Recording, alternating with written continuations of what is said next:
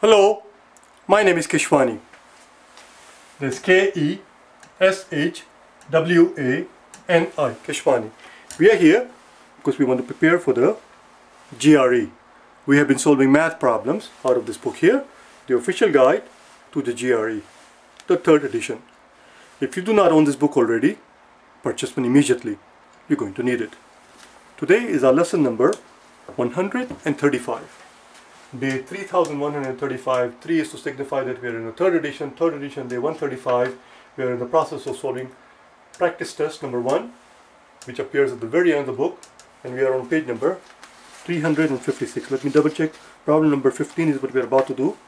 And problem number 15 appears actually on page number page number 357 page number 357 let me correct this thing in my notes before I forget. Page 357 not 56 not that it matters you would have found it. Turn to page uh, turn to the book please. Open the open your book to page number 357 and read the problem to yourself. The problem that, that I'm about to put on the blackboard because obviously I don't have a luxury of putting the entire problem as it appears verbatim. Uh, I don't have a luxury of putting the entire uh, uh luxury of putting the problem in its entirety you understand? So here we are told to select all choices that applies some questions in the exam will ask you that where they will give you three, four, five, six, sometimes seven or eight choices. And any answer choice that works out, any answer choice that correct, you have to mark all of them. Do you understand? It's a new type of questions that did not exist in the old GRE and back in the old days, or good old days. But a few days, a few years ago, they changed the format, and now we have this. So let's look at the, look, let's look at what the problem is asking. We are told that the total amount, total amount paid, total amount paid by Mary, the fact that it was paid by Mary, we really don't care about that. Total amount paid by Mary was equal to the price of the of the good that she purchased. She bought something. I think I think she bought a book. Again, it really doesn't matter what she bought. Yeah, she bought a book. Total amount she paid was the price of the book, obviously, plus the four percent tax in the locality where she is, in the municipality where she is, she only has to pay 4% tax. Lucky for her. So 4% sales tax that is, you understand? We are further told, we are further told that uh, when she was rung up at the register, she paid, we are told that she paid with a $10 bill. These are the facts we know, these are the facts that are given to us. We are told, further we are told that after she paid, after she handed the $10 bill to the cashier, she received the change. She was given a change and we are told that her change was less than $3. We're not told how much change she got, but we do know that it was less than $3. The question simply is, which of the following, which of the following statements, which of the following statements And here's the next word, the most important word in this problem. It doesn't say which of the following statement may be true or could be true. Here it says which of the following statement must be true. And this is something we have to learn, pay, learn to pay attention to. They're not going to, in the real exam, put the word in the capital letter and underline it, underscore it like the way I just did it. They're not going to do it, obviously. Underscore. Yesterday we used these two words, moribund and then demarcate, and I couldn't find out the day when we learned it. Day number 12, just type in GRE vocabulary words, GRE vocabulary words, search for GRE vocabulary words, day 12, and learn the word demarcate. What does it mean to underscore? What I said is that in the real exam, they're not going to put in the capital letter and underscore it like I just did. We just have to learn to pay attention to details, pay attention to every single word. Underscore, I'm looking for under U. See, I'm quick. Day number 12. Oh, same day as this one. What do you know? Coincidence. These are good. These are good words. These are good GRE words. GRE words are so called because they are GRE words. They appear over and over again. They have a tendency of appearing with regular frequency, and you have to master those words. Do you understand? If you if you have any hope at all of getting a decent score, decent score in the in the verbal part. Let's carry on. Underscore simply means to emphasize. Underscore means to emphasize, to underline, to accentuate. to accentuate. You see, that's another good word, accentuate.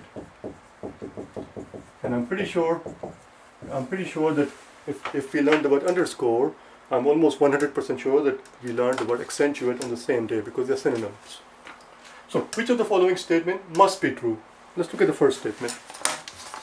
The first statement says, the first statement says that the price, the price that she paid for the book was less than $9.50. Is it $9.50? Price, yes, $9.50. Let's find out if it is, if that is something that has to be true. That must be true. Again, we need the room, so I'm going to erase everything now. Very straightforward deal here. She went in the bookstore, she bought a book, she handed $10 bill with the understanding that she's going to pay obviously the price of the book, whatever it says in the back, plus the 4%. The cashier rung her, rung her up, handed her the change, she walked out the store. When she walked out, she realized that her change was less than $3. Question simply is, what is the the question simply is, is this necessarily true? Is it is it true that the price of the book must have been less than 950 based on what we know? So erase this thing we need to do. Let's work through shall we? The quickest, the simplest way is to figure out what 9, 950 plus the 4% of 950 is, okay? You can do it any way you like. You can sit there, you can sit there and pick up your calculator and do, and figure out uh, 1.04 times 950 if you like. It's up to you. you. Or you can do it manually, 950 times 104 and figure it out. I'm not going to do either of those, I'm just going to do it out here. 950 was the price and the sales tax is 4%. Can you tell me what is 1% of 950? Let's make it simpler. If it were exactly $9, can you tell me what is 1% of $9? 1% of $9 is 9 cents. Because 1% of 100, 1% of $1 is 1 cent. If 1% of $1 is 1 cent, it stands to reason that 1% of $9 should be 9 cents. We don't have $9, we have $9.5. We have a $9.5. So 1% would represent nine and a half cents. Nine and a half cents is one percent. Nine and a half cents is another one percent. Nine and a half cents is another one percent. Nine and a half cents is another one percent. There we go. I have my four percent. One percent, one percent, one percent. Half plus half plus half. That's two. That's two pennies. And nine fours are thirty-six. Thirty-six plus two is thirty-eight. Thirty-eight plus fifty is eighty-eight. No, this this the statement was the statement was what what understand what the, what we are saying here. The statement claimed the statement claimed that the price was less than nine fifty. What did we just prove here? What did we just show? What we just showed here, what we just showed here is this. What we just showed here is that price could have been could have been nine less than 950 or it could very well have been equal to 950. Because had the price been exactly equal to 950, had the price been exactly equal to 950, she would have paid $9.88. She would have been given the change of 12 cents. When she come out of the store, she checked her cents and says, oh, I got change less than $3. Of course her change is less than $3. What, do we, what did we prove here? We proved here that the price does not need to be we proved here the price does not need to be less than 950. It could have been less than 950. It could have been less than 950, but it could very well have been equal to 950. But that's not what it says. It, that's not what it says here. It says it's less than 950. Therefore, that statement is wrong. As a matter of fact, the part that we are about to do, that I'm about to start, is not part of the exam. We are done. Statement one is wrong. We, in the real exam, we just move on with our lives. Do you understand? This is not a real exam. We are here to learn. So we're going to analyze it a little bit more. As a matter of fact, as a matter of fact, I want you to understand that the price could have been as high as 960 and it would still work. Do you know why? Do you know why? Here's the reason why. Look, if I, if I buy something for 10 cents, listen very carefully. If I buy something with 10 cents and I tell you that I have to pay 10% tax, where I live, I have to pay 10% tax. So if you buy something for 10 cents what is your tax? Your, your tax would be one cent. What if the what if the sales tax is nine percent? Your, your your sales tax would be nine tenth of a penny. And because it's nine tenth of a penny, they're going to round it up to the whole penny, and you'll still pay 11 cents. As long as sales tax is more than six, more than five percent. If your sales tax is six percent, then if you buy something for 10 cents, your sales tax is going to be six tenth of a penny. And they're going to round up the six tenth because it's more than half, half a penny, and you're going to end up paying one whole penny. But if the sales tax is less than 5%, if it's only 4%, on the last 10 cents you go scot free. You won't have to pay any tax on the last 10 cents because because 4% of 10, 10 cents is 4 tenth of a cent. They cannot collect 4 tenth of a cent. They cannot round up 4 tenth to another to a whole penny. So the state will have to forego the 4 tenth. Do you understand? That's what we're dealing with here. The sales tax we are told is 4%, which means even if the price were to go up by another 10 cents, even if the price were to go up by another 10 cents, instead of 950, even if the price were 960, she would still be okay. She would still get a change. She will still get a change because her total in that case is the same price that we paid before plus another 10 cents. So she'll, she'll end up paying $9.98. And she'll still walk out with the change in her hand, two shiny pennies. And she will exclaim and say, oh my God, my change is less than $3. Do you understand? It would still work. So for us to claim that the price is less than 950 is wrong. It could be equal to 950 as we just found out, or it could be as high as 960. It could be as high as 960. But the second part that we did was not necessary. Let's move on to the second statement. So the first statement is, is not correct. First statement is not correct. Let's look at second statement.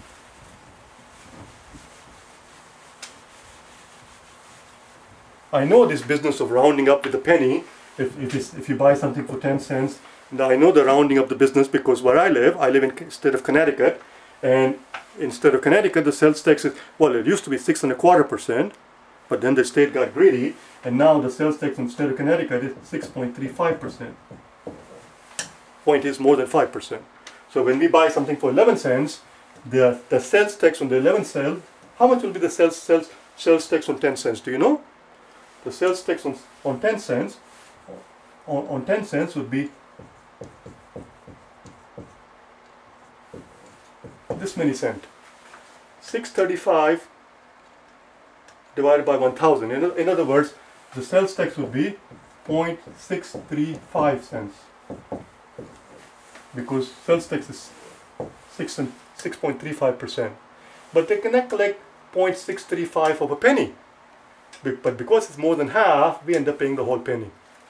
Anyway, that was a little digression for no good reason. For absolutely no good reason. You understand?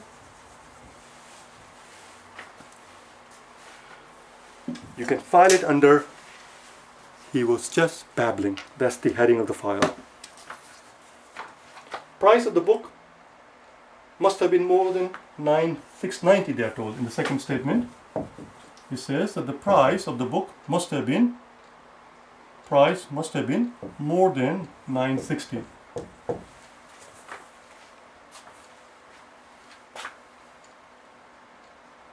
Well, let's find out what would happen if the price were exactly 960.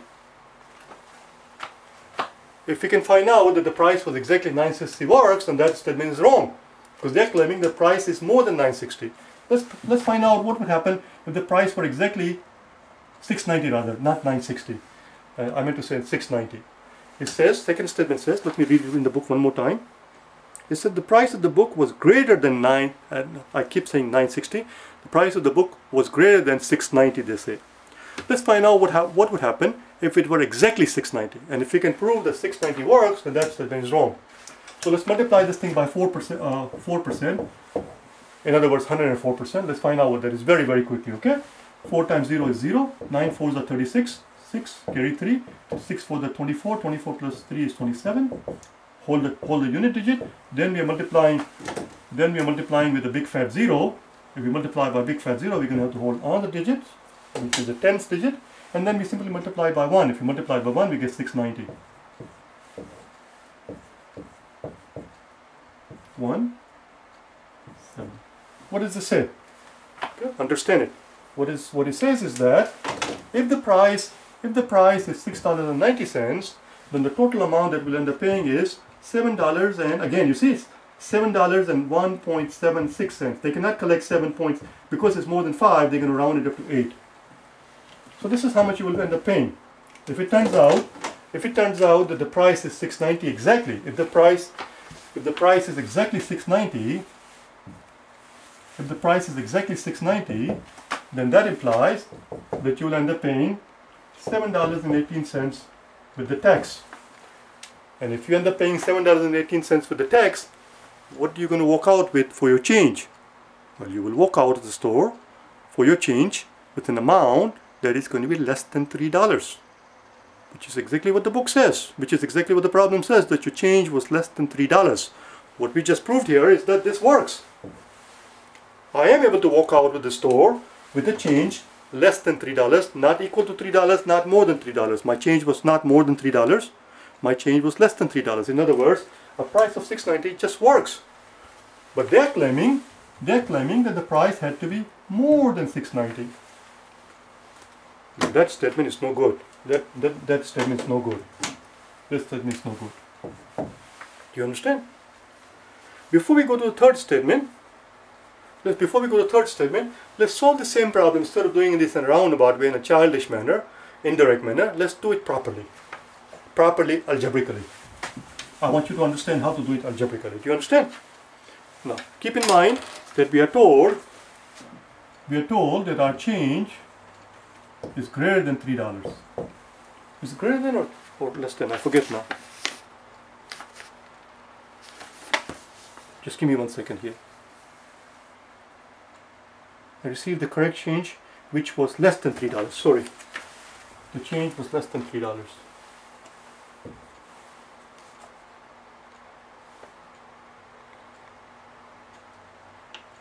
Which means?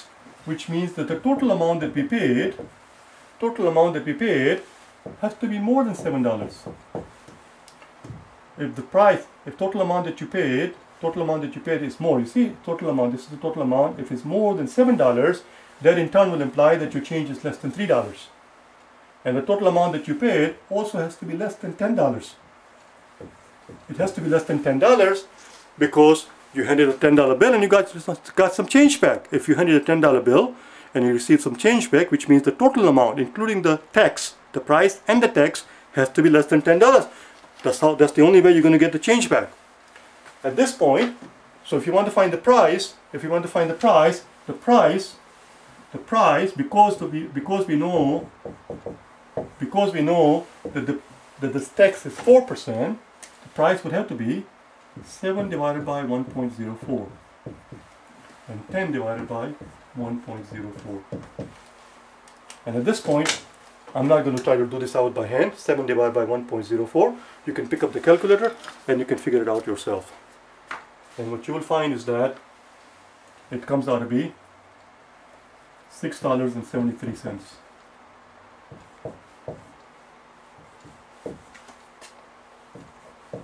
highest price that you could pay is $9.61, nine, not $9.60 that we found a little while ago when we were doing it manually. As a matter of fact, it can go even penny more. It can go even penny more because if you recall, in that scenario, we, we walked out of the store with two pennies. The change has to be less than $3, which means the absolute minimum change that I can walk out with is a penny. Even if I walk out of the store with just one penny in my hand, the change is less than $3. So price could actually be as high as $9.61 well not exactly. It's not it's not equal to but somewhere in between. This is the range which is why the first statement was wrong. First statement claimed that the price had to be first statement claimed that the price had to be less than 950 the price does not have to be less than 950 it has to be less than 961 960 actually. And the second one says that the price had to be more than 690 price can price doesn't have to be more than 690 price could be as less than as low as six dollars and 74 cents $6.74 and if you multiply $6.74 by 1.04 you will see that you will walk out of the store with the change of less than $3. Let's answer the last statement. Enough of this thing. Too much talk, my God.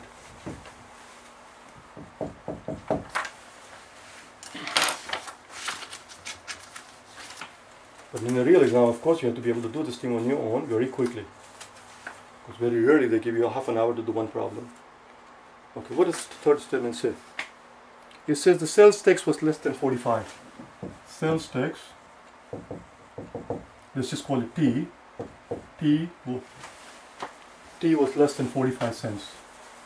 T was less than 45 cents. So we just found out, we just found out that maximum price that we can pay is 961. If the maximum price that we paid is 961 and we only handed her a dollar, we only, oh sorry, we, we handed her $10 bill. If we, if we handed a $10 bill, if, if we handed a $10 bill and the maximum amount that you can go is 961, that implies that tax has to be less than 39 cents. Tax has to be less than 39 cents. So is it correct to is it correct to say that tax must have been less than 45 cents? Of course, tax it is okay to say, it is correct to say that a tax has to be less than 45 cents because as a matter of fact it has to be less than 39 cents. Do you understand? Sales tax has to be less than, that's the maximum tax. This is the maximum tax. Maximum tax that they can collect is 39 cents in this scenario because the highest price that we can pay is 961 on 961 if you pick up a calculator and multiply by 1.04 you will or rather 0.04 you will see it's 39 cents. That's the most most tax we can pay given the given the condition that we must be able to walk out of the store with at least one shiny penny in our hand. We have to have some change because the problem says that we have to have change in the amount of less than three dollars. So we must have cents. Zero zero zero change will not count. Walking out and proudly saying that I have change of zero cents will not count. You understand so that's it. So what we found out that the statement 1 does not work, the statement 2 does not work, but statement 3 is just fine. The statement 3 is just fine. And therefore, as the answer choices are listed here, the answer is C. Answer to this problem is C. And let's look at the percentile. So you will understand why it took so long because this is not a sort of problem which was meant for everybody. This was meant for people who are going to score really high score in, in the math portion. Do you understand? Only 18%. Only 18% of people got it right. Almost four-fifths, actually not almost four-fifths, more than four-fifths of the people, more than 80% of people had trouble with this question. Tomorrow we'll do the next problem, which is just as nasty, which is just as bad, problem number 16 which is just as bad. Let's let's let's quickly take a look at well actually almost almost almost as bad because this one this one was 18 percent uh, percentile was 18 the next one we're going to do tomorrow problem number 16 only 19 percent got it right. So it's up there. I'll see you tomorrow okay? And again tomorrow we'll only do that problem and nothing else okay? Bye now